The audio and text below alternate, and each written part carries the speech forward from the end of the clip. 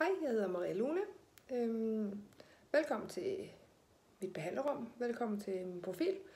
Øhm, jeg kan starte med at fortælle lidt om mig selv, og hvad for nogle behandlinger jeg laver, og til, hvad for noget terapi jeg laver, øhm, og hvad min passion er. Øhm, jeg arbejder som familieterapeut. Derudover så laver jeg healing, og jeg laver bars, og øhm, jeg arbejder som spirituel mentor. Øhm, jeg kan godt lide at blande øh, de forskellige former, fordi at jeg tænker, at øh, det er forskellige behov, man har, og nogle gange har man behov for at lukke op for nogle ting, og lukke ned for nogle andre ting. Øhm, og jeg kan godt lide at arbejde ud fra, at der ikke er nogen fast plan, når man kommer. Øh, og man tager udgangspunkt i, hvor er man hen her nu, og hvor vil man gerne hen, og hvad er ens behov.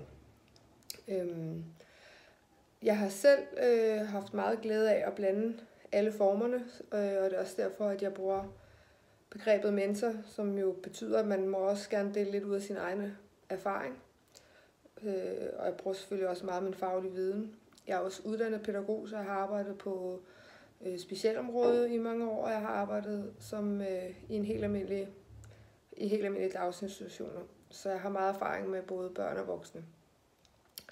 Jeg øh, startede med at, at tage en lidt mere spirituel uddannelse efter min pædagoguddannelse, og derefter så åbnede det sig bare den ene dør efter den anden, som jeg har valgt at, at træde ind af. Og det er derfor, jeg sidder her i dag og brænder for at hjælpe andre mennesker med nogle ting, som jeg ved personligt virker.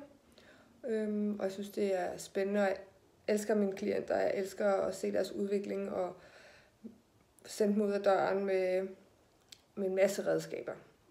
Det er en anden ting, som jeg går meget op i, når jeg har klienter, det er, at selvfølgelig jeg giver dem, hvad de har behov for, men jeg prøver så vidt muligt også at give, dem, give folk lidt nogle redskaber med hjem, som de kan bruge med det samme.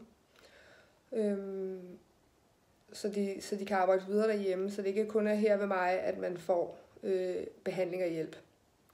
Fordi der er jo et stort arbejde, og det kræver mod og engagement at starte på, på sin selvudviklingsrejse og få det bedre.